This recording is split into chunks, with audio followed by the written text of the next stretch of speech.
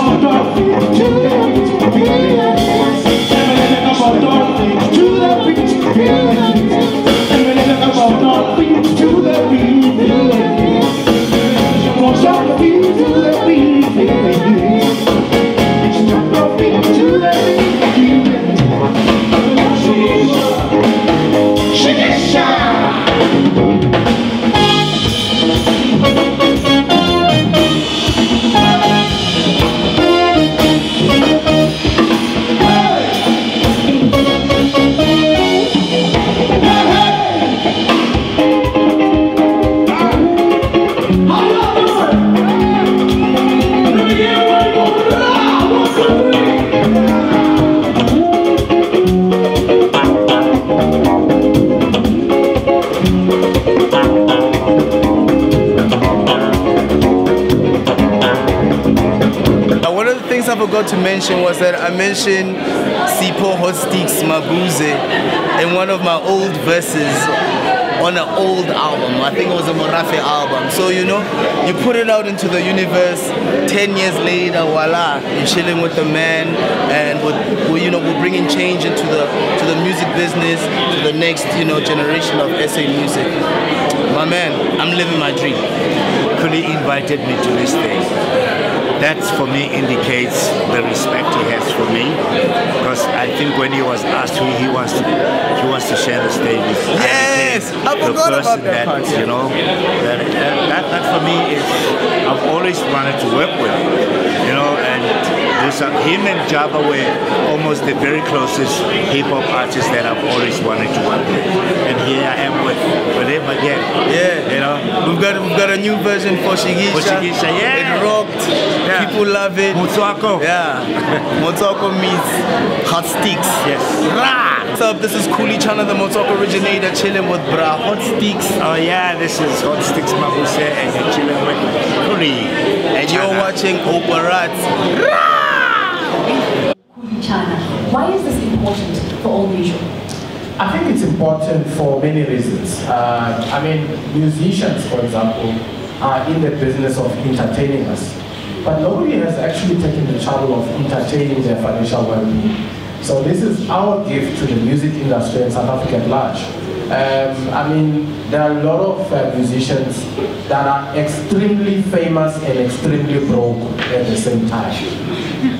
And nobody knows, you know, and I think you've heard uh, uh, some hint of that from Sipho and Khuli Chana. Sometimes we, we just know that there are big artists, there are big icons, there are big hits, but then the wallet is not that big, you know, so and, and I think partly because of a number of reasons. One, lack of financial education, uh, people not knowing, and people getting themselves into contracts, uh, and later on they realize that actually they got a name down, and all sorts of things. So there's a need for somebody to come forward and educate South Africa about how to manage money. It's a, a subject that is very, very critical, uh, not only for artists, but for, for all of us.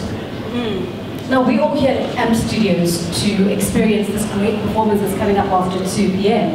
Um, but what is AMPD Studios all about and what is there on offer? Yeah, AMPD Studio is a, is a culture hub. It's a space we've created as Old Mutual to help artists elevate their career through music and financial education. So, it, you know, and, and I think that's why it's important to, as an artist, to start thinking long term, to start thinking, how do I build a legacy. I mean, I listened to uh, an interview the other day uh, by a mother of one artist who was very famous, uh, but has now passed on. And the mother gets 500 rand per year uh, as royalties, just 500 rand. And nobody actually came to her and said, look, by the way, this is how it works, and this is how royalties work, and these are your rights, and so on. So, and, and I think the same thing happens, I mean, even with artists. Then, of course, you've got the other challenge of uh, consumerism, uh, you know, trying to live for the now, uh, you know, perhaps the Instagram pressure. You know, like I always say, you know, you know how many yellow balls are on, on Instagram? But then, but unfortunately, not, not all of them are actually uh, yellow balls. But I don't know, because somebody must, somebody must have said, well, being a yellow bone is, is an achievement. I'm not sure where that comes from. But the, the reality is that because we've got pressure to conform to a particular standard, even when it comes to money, you don't have to drive an expensive car for people to respect you as an artist. So we need to start tackling these issues you know, deal with these uh, tough conversations that nobody actually uh, talks about. And, and the AMPD Studio is something that's going to give you that. We want to give access to young people uh, to a state-of-the-art uh, recording studio. Uh, we know that access to a recording studio is very expensive. And uh, we are one of the organizations that are going to play that role through music.